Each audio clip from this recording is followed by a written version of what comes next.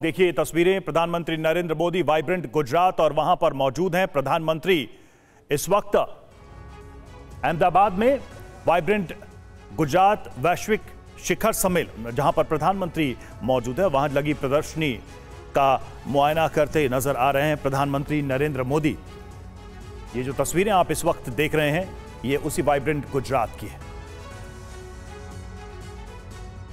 तो आज समिट है वाइब्रेंट गुजरात समिट में प्रधानमंत्री की मौजूदगी और जिस तरीके से यहाँ पर आप देखिए, जो रोबोटिक्स की ये प्रदर्शनी है, उसका एक तरीके से जायजा लेते हुए, समझते हुए